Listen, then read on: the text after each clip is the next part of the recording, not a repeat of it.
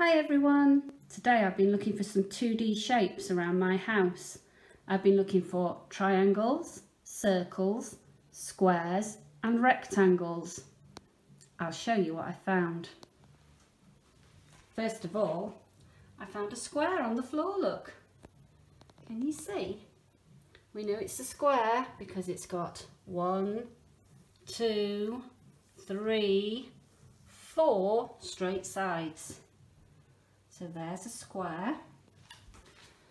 Then I found some circles.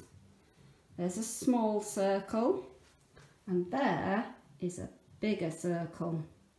My plates. What else did I find? Oh, I found some more squares.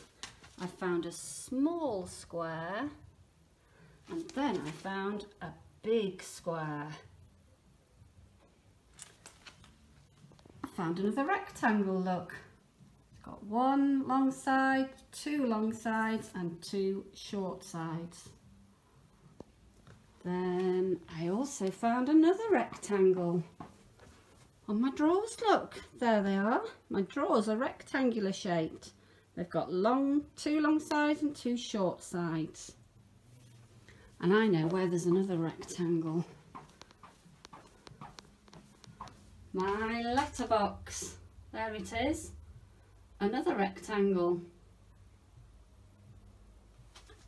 And then the other shape that I found was this lovely one. It's the heart, a heart-shaped one.